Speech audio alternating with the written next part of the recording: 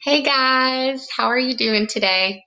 So, we are going to do our episode nine, is it 10 of Soft Rain today? And we left off with her waking up with flies on her face and smelling horrible and asking her mother if she could have a bath.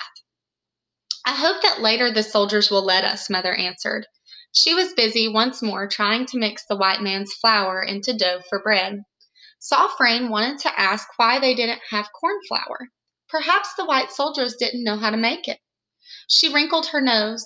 The heat, smoke, grease, and cooking odors made her stomach feel weak again. The dough looks better. Maybe it will cook properly, Mother said, placing her pan over the fire. Soft Rain watched, wondering how her mother could stand being so near the hot coals. Shall I look for old roving man? she asked. Maybe he will eat with us. Mother nodded, never looking up from the bread. The pen was not large, but larger than the one at the home that protected their animals. Are the soldiers protecting the real people? Soft Rain wondered. From what? She walked twice around the pen and saw several people with white hair, but she didn't find old roving man. Some of the people were coughing, and babies were crying. Everyone looked hot and unwashed. Soft Rain remembered passing a river just before they were herded inside.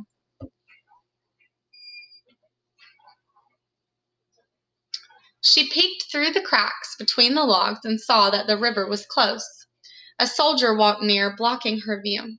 She could see his shiny belt buckle. Putting her mouth close to a crack, she said, Soldier man, can you hear me? We need to go to the river to bathe and cool ourselves. When he bent down, squinting at her through the crack, he could she could see his blue eyes. Go back to your mother, little girl. No one gets to bathe.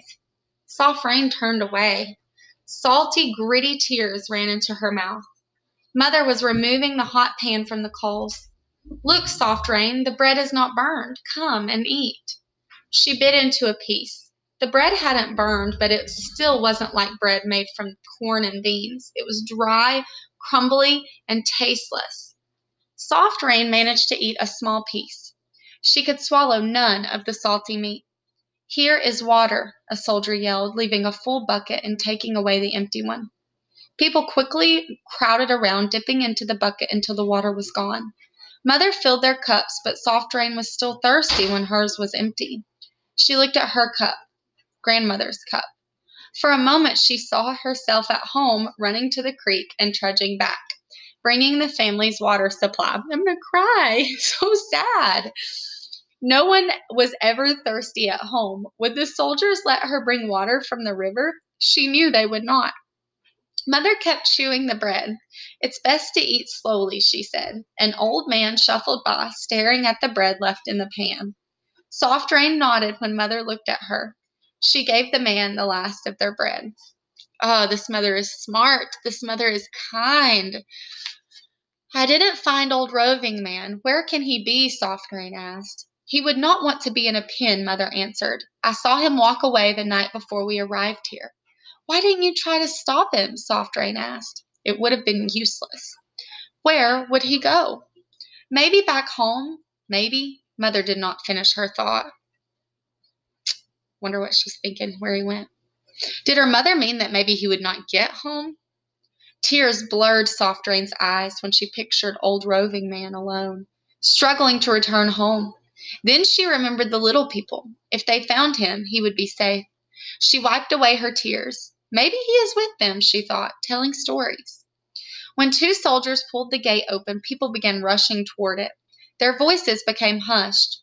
Soft Rain watched as more Tsalagi were pushed inside.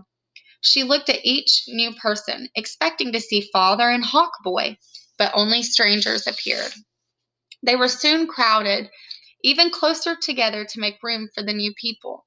The moaning inside the pen resumed, and over those sounds, Coming from outside the pen, Soft Rain heard a loud tapping noise and shouts of soldiers. Not here! Over there!